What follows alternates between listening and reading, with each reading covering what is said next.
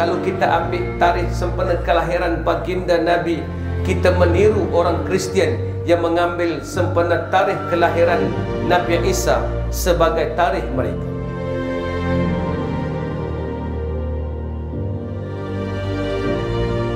Ketika Sayyidina Umar Al-Khattab mengajak para sahabat untuk berbincang, bilakah tarikh yang paling sesuai untuk kita letakkan bagi menjadi tarikh kepada negara dan daulah Islam ketika itu?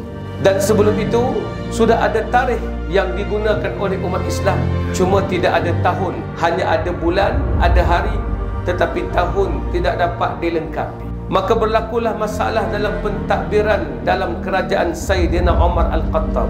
Bila mencatat tarikh pada surat menyurat ada tarikh ada bulan tetapi tidak ada tahun maka menyebabkan tidak tahu surat ini tahun ini atau tahun sebelum ini kerana ada surat yang bertarikh sama dan bulan sama 27 Rejab tetapi tidak tahu ada satu lagi surat pula 27 Rejab tidak tahu juga tahun bila Maka Umar ajak bincang untuk meletakkan tarikh tahun kepada umat Islam.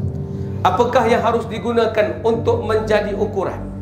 Nak memakai tahun Masihi, Islam melarang untuk meniru orang lain. Man tashabbaha biqaumin fahuwa minhum. Siapa tiru satu kaum, dia termasuk dalam kaum itu. Bila dicadangkan demikian, maka Umar membantah. Kalau kita ambil tarikh sempena kelahiran baginda Nabi kita meniru orang Kristian yang mengambil sempena tarikh kelahiran Nabi Isa sebagai tarikh mereka.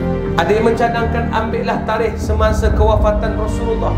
Maka ia juga sama kerana peristiwa wafat dan lahir Nabi hanya membabitkan Rasulullah semata-mata. Umar tidak mempersetujui. Tiba-tiba ada seorang sahabat memberikan cadangan. Ambillah tarikh sempena hijrah tu Rasul bersama dengan orang-orang Islam. Seluruh warga yang duduk di Mekah yang beriman Jumlah mereka tidak ramai pun. Hanya sekitar 150 orang saja Keluar secara beransur-ansur Berhijrah menuju ke satu tempat asing Yang mereka tidak pernah sampai. Perjalanan yang sangat jauh Tidak boleh mengikuti jalan yang biasa. Kebanyakan disekat di tengah jalan Diugut untuk tidak pergi. Siapa yang keluar kena meninggalkan harta Menyebabkan peristiwa itu. Menjadikan Omar kata Inilah tarikh yang sesuai sesuai untuk dijadikan nostalgia kepada umat Islam sekaligus mengingatkan kekuatan kepada umat Islam. Orang-orang fakir muhajirin Allah panggil mereka fakir sebab mereka terpaksa keluar tanpa membawa sebarang benda. Maka tarikh hijrah adalah tarikh yang sesuai untuk menjadikan tarikh bagi Islam